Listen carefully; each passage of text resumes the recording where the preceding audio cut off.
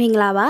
Anseli TV ကနေပြန်လဲကြိုဆိုပါရစေပရိသတ်ကြီးကိုဒီနေ့တင်ဆက်ပေးသွားမယ့်အကြောင်းအရာလေးကတော့ရဲစခန်းထိလိုက်ပြီးဖြည့်ရှင်းချက်ပေးခဲ့ရတဲ့ EC ကွေးဆိုတဲ့အကြောင်းလေးပဲဖြစ်ပါတယ်ဒီအကြောင်းအရာလေးကိုမတင်ဆက်ပေးခင်မှာ Theronist ဆင်တင်ဆက်ပေးနေတဲ့ celebrity နဲ့ပတ်သက်တဲ့သတင်းတွေကိုအမြင်မပြတ်သိရအောင် subscribe button လေးကိုနှိပ်ထားပေးဖို့မမေ့ပါနဲ့နော်။ EC ကွေးကတော့မန္တလေးမှာပြုလုပ်ကျင်းပတဲ့အလှမဲ့ပြိုင်ပွဲတစ်ခုမှာဖျော်ဖြေပေးဖို့လာငားတဲ့အချိန်မှာတော့သူနဲ့ရင်းနှီးတဲ့မိတ်ဆွေတယောက်ရဲ့အာမခံပေးမှုကြောင့်လက်ခံခဲ့တယ်လို့ဆိုပါတယ်။ဒါပေမဲ့ဖျော်ဖြေပွဲပြီးတဲ့အချိန်ထိအမှုပညာရေးပေးဖို့တောင်းရခတ်တဲ့အပြင်ရက်စခန်းတွေအထီတောင်ရောက်ခဲ့ရတယ်လို့သိရပါတယ်။ဒီကိစ္စပေါ်မှာ EC ကွေးရဲ့သဘောထားကတော့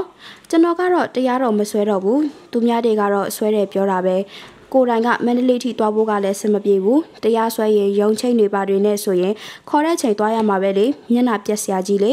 တယောက်နဲ့တယောက်ကဒီလိုမျိုးကြီးဖြစ်နေတယ်ဆိုတာကလည်းအခုလိုမဖြစ်ချင်ပဲဖြစ်လိုက်ရတာဆိုတော့စိတ်တော့မကောင်းဘူးပေါ့ဆိုပြီးတော့ဇန်နဝါရီလ14ရက်နေ့မနက်ပိုင်းကအိမ်မက်မြစ်ရုပ်ရှင်ဇာတ်ကားကတော့ပွဲကိုတက်ရောက်ရင်းဖြေကြားလာခဲ့ပါတယ်။ 2020နှစ်အစမှာအမှုပညာရှင်တော်တော်များများဟာငွေရေးကြေးနဲ့ပတ်သက်ပြီးတယောက်ပြီးတယောက်ဆိုသလိုအမှုရင်ဆိုင်နေရတာကိုလည်းတွေ့ရပါတယ်။ဒီကြောင့်နဲ့ပတ်သက်ပြီးတော့ EC ကွေကငွေပမာဏကတော့အများတယ်။ကျွန်တော်ပွဲဆိုနေကြတပွဲစာနဲ့လေရင်ခတွေရောပေါ့။ဒီနှစ်တော့ငွေရေးကြေးရေးပြဿနာကခဏခဏတက်ကြတာပေါ့နော်။ပြည်သက်တွေကတော့ပြောကြပါတယ်။ လာပြန်မီလာနောက်တယောက်ဆိုပြီးတော့ဘလို့ပဲဖြစ်ဖြစ်ပြဿနာကတော့မဖြစ်ချင်ဘူးငွေရေးကြေးရေးပိုင်းနဲ့ပတ်သက်လာရင်အကောင်လုံးကအကြက်တဲဖြစ်နေတာဆိုတော့နားလဲပါတယ်ဒါပေမဲ့လည်းကိုလည်းအလုံးလုံးနေရတဲ့သူတယောက်ဖြစ်တဲ့အတွက်တယောက်နဲ့တယောက်ကိုချင်းစာစိတ်လေးနဲ့သူလဲလိုချင်မှာပဲငါလဲယူတော့ကတော့ယူထားတာပဲ